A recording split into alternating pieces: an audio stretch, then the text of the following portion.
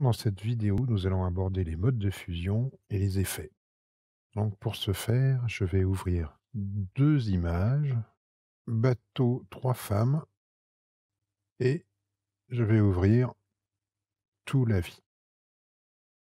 Je vais sélectionner tout la vie, la copier et la coller sur un plan au-dessus de trois femmes bateau. Je suis sur le plan ou le calque ici en mode de fusion origine. Je vais passer en gélatine. Donc vous voyez l'effet, le calque d'au-dessus va s'incruster dans l'image d'en dessous. Je vous conseille de jouer un peu avec tous les modes. Il y en a qui sont intéressants, notamment magique, où l'image du dessous, c'est-à-dire les trois femmes avec le bateau, s'incruste dans l'image du dessus. Vous voyez?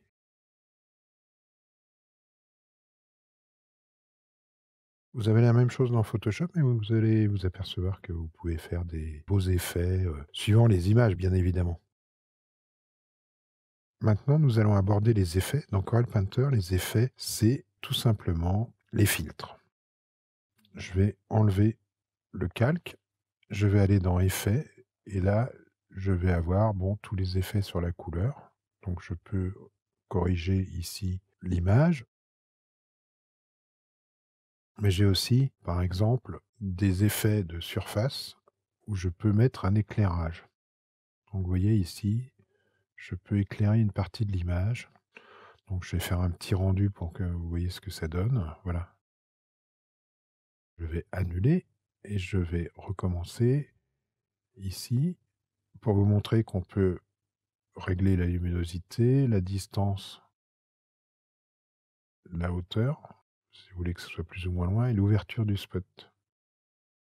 Vous avez aussi des éclairages tout faits.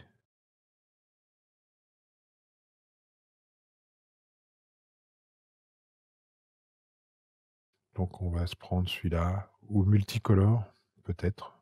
Alors on peut changer la couleur, hein, on peut mettre du vert, par exemple. Faire OK, c'est pas très beau, mais voilà, ça donne ça. On peut changer l'aspect d'une image avec l'effet surface éclairage. Je vais annuler. Je vais prendre dans la surface maintenant, on peut donner une texture à l'image. Donc une texture qui est basée sur le papier. On peut régler l'intensité de la texture, vous le voyez ici dans la zone de prévisualisation. On peut régler le côté brillant, on peut choisir par où arrive la lumière. Il y a des directions aussi.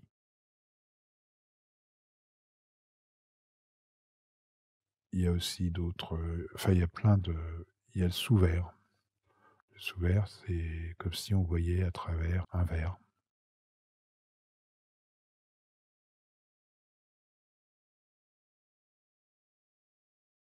Ça donne des effets assez sympas.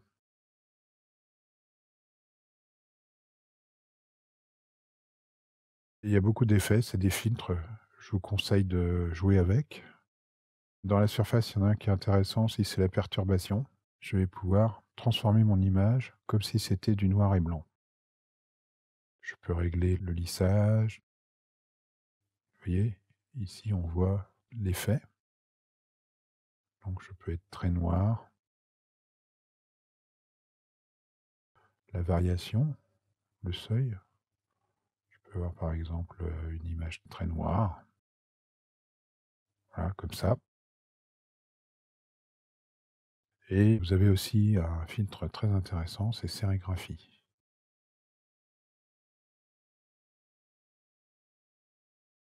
On va peut-être pas tous les faire, les effets. Ce que je vous conseille, c'est de vous amuser avec. Il y en a plein.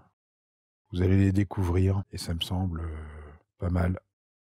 Le filtre arbuste, pour les personnes qui ne savent pas ce que c'est que des fractales, voilà, les fractales, c'est j'ai trois branches qui se redivisent indéfiniment. C'est un peu comme le chou-fleur. Le chou-fleur, c'est un bon exemple de fractal. Et Painter est basé là-dessus. Les textures et les outils sont basés sur des fractales qui sont aléatoires. Vous voyez? Donc je vais avoir des formes de brosses. C'est un petit plus pour la compréhension du fonctionnement du logiciel.